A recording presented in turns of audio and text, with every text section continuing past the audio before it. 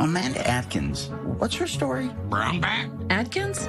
She was a top advisor to Governor What's His Name? Brownback. You know, the governor that passed that tax scheme that devastated schools. Oh, yeah, Sam so and so. Brownback. She helped him pass it. They're as thick as thieves. Who? Uh, Adkins and, uh. Oh, yeah. Running for Congress. And that Sam guy. Brownback. After what they did to Kansas schools? No thanks. I'm Sharice Davids. I approve this message.